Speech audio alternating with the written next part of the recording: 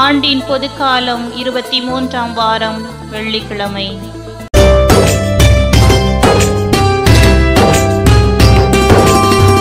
ஆதவனை தேடும் மலர் போல அதிகாலையில் என்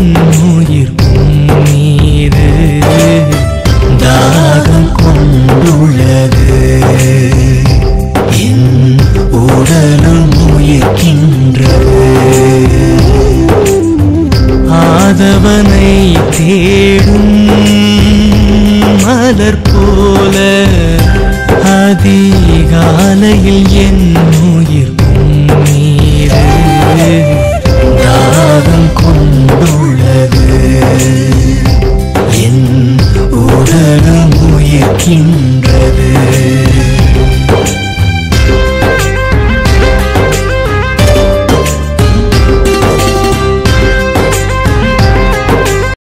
லூக்கா எழுதிய தூய நற்செய்தியிலிருந்து வாசகம் அதிகாரம் ஆறு இறைவசனங்கள் முப்பத்தி ஒன்பது முதல் நாற்பத்தி இரண்டு முடிய. அக்காலத்தில் இயேசு அவர்களுக்கு உவமையாக கூறியது பார்வையற்ற ஒருவர் பார்வையற்ற வேறொருவருக்கு வழிகாட்ட இயலுமா? இருவரும் குழியில் விழுவார் அல்லவா சீடர் குருவை விட மேலானவர் அல்ல. ஆனால் தேர்ச்சி பெற்ற எவரும் தம் குருவை போல் இருப்பர். நீங்கள் உங்கள் கண்ணில் இருக்கும் மரக்கட்டையை பார்க்காமல் உங்கள் சகோதரர் அல்லது சகோதரியின் கண்ணில் இருக்கும் துரும்பை கூர்ந்து கவனிப்பது ஏன்? உங்கள் கண்ணில் இருக்கும் மரக்கட்டையே நீங்கள் பார்க்காமல் இருந்து கொண்டு உங்கள் சகோதரர் அல்லது சகோதரியிடம் உன் கண்ணில் இருக்கும் துரும்பை எடுக்கட்டுமா என்று எப்படி கேட்க முடியும்? வெளிவேடக்காரரே முதலில் உங்கள் கண்ணில் இருக்கும் மரக்கட்டையை எடுத்து எரியுங்கள் அதன்பின் உங்கள் சகோதரர் அல்லது சகோதரியின் கண்ணில் இருக்கும் துரும்பை எடுக்க உங்களுக்கு தெளிவாய் கண் தெரியும். இது வாழ்வு தரும் கிறிஸ்துவின் செய்தி கிறிஸ்துவே உமக்கு புகழ்.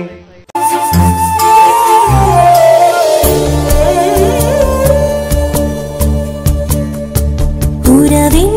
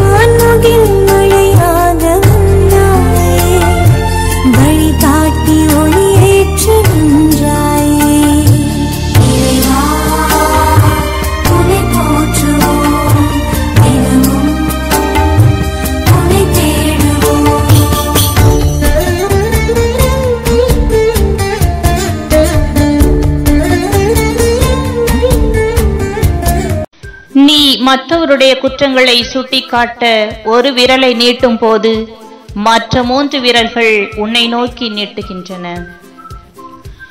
இயேசுவில் அன்பிற்குரியவர்களே இன்றைய நாளில் நம்மையும் நாம் செய்யும் ஒவ்வொரு செயல்களையும் ஆழ்ந்து உற்று நோக்க இறைமகன் இயேசு இன்றைய நற்செய்தி வாசகத்தின் வழியாக நமக்கு அழைப்பு விடுக்கின்றார்.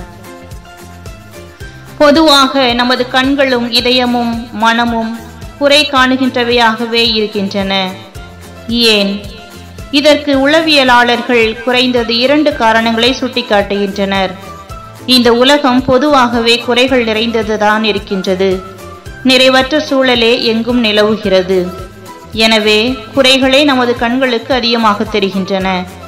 இன்னொரு காரணம் சிக்மண்ட் ஃப்ராய்டு போன்ற உளவியல் அறிஞர்கள் சொல்வது ஒவ்வொரு மனிதரும் தாங்கள் குறையுள்ளவர்களாக இருப்பதால் தங்களிடம் இருக்கின்ற குறைகளை பிறர் மேல் ஏற்றி பார்க்கின்றனர்.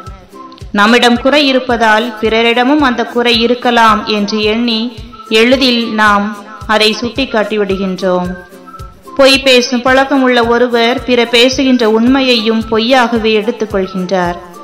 தனது குறையை பிறர் மீது ஏற்றி பார்க்கின்றார். நாமில் இருக்கின்ற குறைகளை நாம் பெரிதாக கருதாமல் பிறருடைய குறைகளை பற்றியே அலட்டிக் கொள்வது ஒரு அனுபவ உண்மை. மனிதரிடையே நிலவும் இப்போக்கினை ஒரு சிறிய ஓமை வழியாக விளக்குகிறார் இயேசு. நம் கண்கள் தெளிவாக இருந்தால்தான் நம் பார்வையும் தெளிவாக இருக்கும். கண்ணில் ஒரு சிறிய தூசு விழுந்தால் கூட கண் தானாக மூடிக்கொள்ளும். அப்போது நம் பார்வையும் தெளிவு குன்றிவிடும். ஆனால் ஒரு பெரிய மரத்துண்டை எடுத்து கண்ணில் போட்டால் நம் பார்வை முற்றிலுமாக மறைந்து போய் நாம் பார்வையற்றோர் போல் ஆகிவிடுவோம். நமது பார்வை தெளிவாக இருக்க வேண்டும் என்றால் நம் கண் தெளிவாக இருக்க வேண்டும்.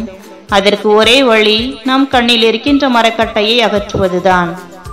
நம் குறைகள் மரக்கட்டை போல இருந்து நம்மை பற்றிய உண்மையை நாம் உணராமல் இருக்க செய்துவிடும். அதே நேரத்தில் பிறருடைய வாழ்வில் நிலவுகின்ற சிறு சிறு குறைகளை நாம் பெரிதுபடுத்துவதோடு கூட அவர்கள் மீது குறை காணவும் தொடங்கிவிடுவோம். பிறரை திருத்துவதற்கு முன் நம்மில் என்ன மாற்றம் ஏற்பட தேவைப்படுகிறது என நாம் கேட்டு பார்ப்பது பயனுள்ளதாக இருக்கும். நமது குற்றங்களை திருத்தும் போது நாம் பிறருக்கும் ஒரு முன்மாதிரியாக மாறுவோம். அதை கண்டு அவர்களும் கடவுளிடம் திரும்புகின்ற வாய்ப்பு பிறக்கலாம். எனவே சகோதர அன்பின் ஒரு முக்கியமான அம்சம் நம் பகைவரையும் அன்பு செய்து நம் சகோதர சகோதரிகளிடம் இன்னென்ன குறைகள் உள்ளன என்று சுட்டிக்காட்டி அவர்களை திருத்துவதற்கு செய்யப்படுகின்ற முயற்சியாகும். குற்றம் காணும் போக்கினை நாம் தவிர்க்க வேண்டும். அதே நேரத்தில் நம் சகோதர சகோதரிகள் மனமாற்றம் பெற்று நல் மனிதராக மாறிட வேண்டும் என்ற நோக்கத்தோடு அவர்களை திருத்திடவும் நாம் முயல வேண்டும். அப்போது சிறிய துரும்பை பெரிதுபடுத்தாமல் பெரிய மரக்கட்டையை கவனியாது விட்டுவிடாமல் நாம் தெளிந்த பார்வை உடையவராக மாறுவோம். இயேசு பிறரது குற்றங்களை குறைகளை பார்ப்பதற்கு முன் நம்மையே ஆய்வு செய்து நம்மிடமுள்ள குறைகளை ஏற்றுக்கொள்ள அழைப்பு விடுக்கிறார். நம்மிடமும் நிறைய குறைகள் இருக்கின்றன என்பதை உணர்ந்து ஏற்றுக்கொள்ளும் போது பிறரிடம் குற்றம் காணுவதற்கு பதிலாக நமக்கு பரிவுணர்வே தோன்றும்.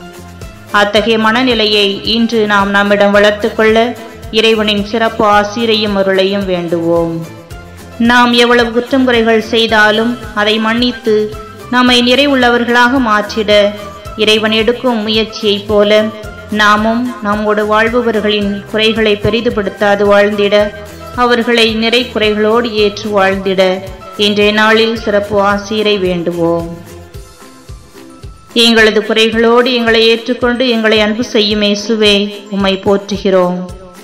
எங்களோடு வாழ்கின்ற பணி செய்கின்ற மனிதர்களில் குறைகளை காணாமல் நிறைகளையே பார்க்கின்ற புதிய பார்வையை எங்களுக்கு தந்தரலும் இறைவன் உங்கள் உள்ளங்களையும் இல்லங்களையும் நிறைவாக ஆசிர்வதித்து வழிநடத்துவாராக. நீ வேண்டும் நீ வேண்டும் தலைவா. நிறைவாழ்வு நீ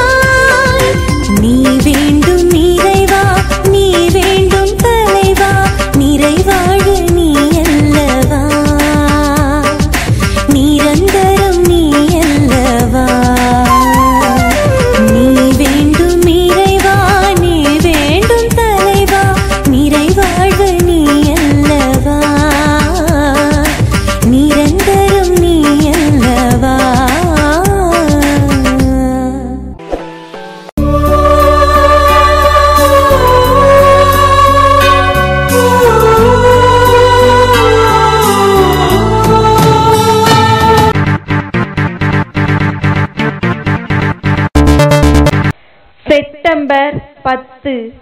புனித தெலோந்தினோ நிக்கோலாஸ் இவருடைய பெற்றோர் மீரா நகரின் ஆயரான புனித நிக்கோலோஸ் என்பரை பார்த்து ஜெபித்ததனால் இவர் பிறந்தார். எனவே ஆயரின் பெயரையே இவருக்கு அளித்தார்கள். சிறு வயதிலிருந்தே இவர் புண்ணியவனாக வாழ்ந்தார். ஏழு வயதிலிருந்தே வாரத்தின் சில நாட்கள் ஒரு சந்தி பிடிப்பார். இவர் கல்வி கற்றுக்கொண்டிருக்கும் போது இவரது திறமையைக் கண்டு உலக இரட்சகரது ஆலயத்தில் இவருக்கு ஒரு வேலை கொடுத்தார்கள். அந்த வேலை இவருக்கு பிடித்ததாக இருந்தது. ஏனெனில் இரவும் பகலும் கடவுளுக்கு சேவை செய்தார். உலக மகிமை பெருமை மறைந்து போகும் என்பதை பற்றிய மறைவுரை ஒன்றை கேட்டதும் இவர் உலகத்தை துறந்து சந்நியாசியானார். தாழ்ச்சியும் சாந்தமும் இவரது முக்கியமான புண்ணியங்களாகும். குரு பட்டம் பெற்ற பின் இறைவனது வார்த்தையை ஒவ்வொரு நாளும் போதிப்பார். இவர் சிறந்த பிரசங்கி எனும் செய்தி எங்கும் பரவியது. நெடுநேரம் பாவ சங்கீதனம் கேட்பார். மக்களை மோட்சம் சேர்க்க வேண்டும் என்பது இவரது ஏக நோக்கமாக இருந்தது. நேரம் கிடைக்கும் போதெல்லாம் ஜெபிப்பார் தியானிப்பார் ஆண்டவர் பட்ட பாடுகளின் மீது இவருக்கு மிகுந்த பக்தி உண்டு. உத்தரிக்கின்ற ஆத்மாக்களுக்கு எல்லையற்ற இரக்கத்துடன் உதவி செய்வார். இவருக்கு பல கொடிய நோய்கள் வந்தது. இவர் சாக கிடந்தார்.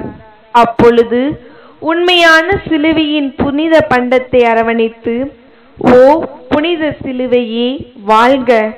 உலகின் மீட்பு கிரயத்தை தாங்கும் பேறு உனக்கு கிடைத்தது. அவர் உன் மீது தொங்கினார். அந்த மீட்பு கிரயமாக இயேசு உன் வழியாக என்னை என் ஆன்மாவின் சத்துருக்களிடமிருந்து காப்பார் என்றார். பொருள் தேடி அலைந்தோடி அருள் நீங்கி மனம் வாடி இருளாளும் நிலை காண்கிறேன். உண்மைக்கும் நேர்மைக்கும் உறவுக்கும் பகிர்வுக்கும் குடி தோண்டும் நிலை காண்கிறேன். தேடி அலைந்தோடி அருள் நீங்கி மனம் வாடி இருளாளும் நிலை காண்கிறேன். உண்மைக்கும் நேர்மைக்கும் உறவுக்கும் பகிர்வுக்கும் குடி தோண்டும் நிலை காண்கிறேன். தீமைகள் ஒளிந்தாகணும் நன்மைகள் நிலையாகணும். எங்கெங்க